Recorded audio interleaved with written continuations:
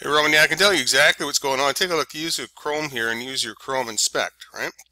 And I'll tell you that the image is 26 by 100 pixels. And the reason for that is because you're using 150 of the, uh, I think you're using vertical widths, VWs, which is vertical width. So that's 100% of the vertical width. And if the vertical width isn't established, such as the table cell that it's in, then it's going to, right?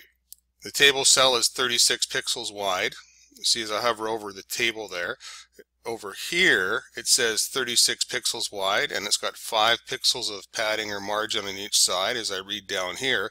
So the leftover space is 26 and that's how much of the image is showing up. So all this here, just get rid of the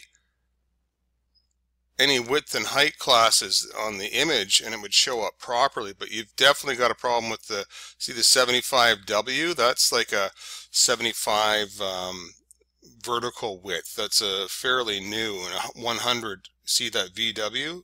That's a vertical width that's not supported in all browsers. Um, and that's why you're getting different looks in different browsers. But you'd have to go in and actually um, either put a width on this table cell of 100 pixels, right? Or get rid of the uh, widths, this the 75W the 100 VW, that sort of stuff, and just go with pixel widths for now because you don't actually have a width established on the parent container.